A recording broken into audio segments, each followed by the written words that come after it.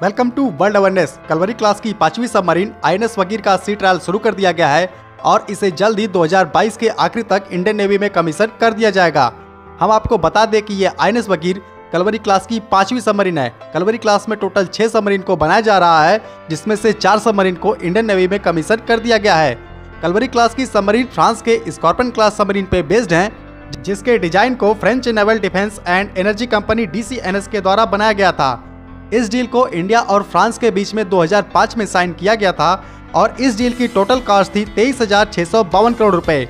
उस हिसाब से पर सबमरीन की कॉस्ट आती है तीन हज़ार नौ सौ बयालीस करोड़ रुपए। इस डील में ट्रांसफ़र ऑफ़ टेक्नोलॉजी भी शामिल थी, इसीलिए इन सबमरीन की मैन्युफैक्चरिंग को इंडिया के मजगांव डॉक लिमिटेड के द्वारा ही किया जा रहा है।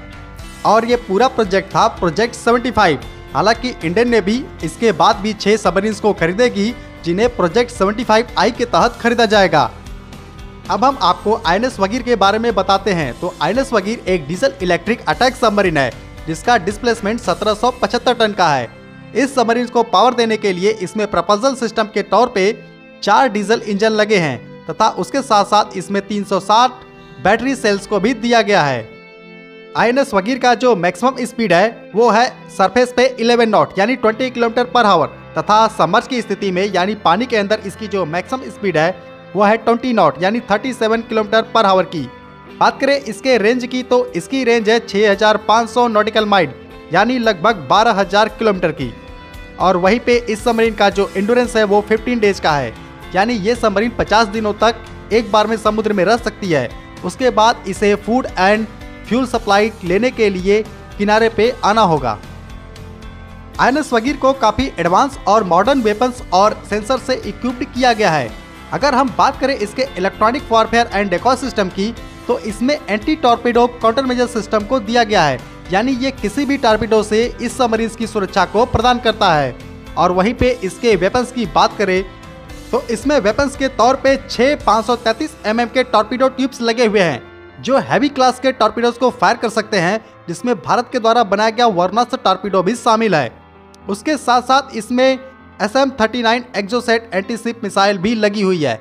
हम आपको एक्जोसेट एंटीसिप मिसाइल के बारे में बता दें कि ये मिसाइल टोटल 50 किलोमीटर तक रेंज प्रोवाइड करती है और इसकी जो मैक्सिमम स्पीड है, वो है 1148 किलोमीटर।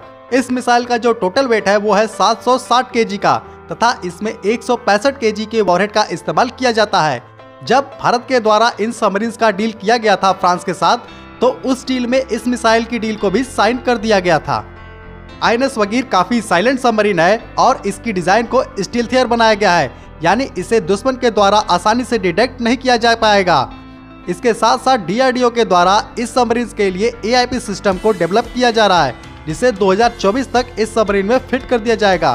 सिस्टम के बारे में हम आपको बता दें कि एआईपी सिस्टम का मतलब होता है एयर इंडिपेंडेंट प्रपोजल सिस्टम इस सिस्टम की मदद से ये सबमरीन समुद्र में काफ़ी ज़्यादा दिनों तक रह के ऑपरेट की जा सकती है, यानी इसे सरफेस पे आने की ज़रूरत नहीं पड़ेगी। किसी भी सबमरीन को ट्रैक कर पाना तब आसान होता है जब वो पानी के ऊपर आ जाए, यानी सरफेस पे। लेकिन अगर कोई सबमरीन पानी के अंदर, यानी समर्थ स्थिति में ही ऑपरेट करती रहे तो उसको डिटेक्ट कर पाना काफ़ी मुश्किल होता है। इसीलिए ये ए सिस्टम इस सबमरीन के लिए काफ़ी ज़्यादा इम्पोर्टेंट है। और इस ए सिस्टम को इन पे इंस्टॉल कर देने के बाद ये सबमरीन और भी ज़्यादा डेडलिस्ट बन जाएगी।